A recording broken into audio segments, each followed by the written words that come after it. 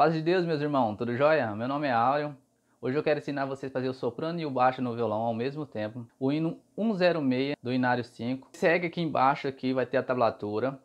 Eu vou tocar ele, um hino bem fácil de, de tocar. Você vai ter que ter um pouquinho de extensão, né?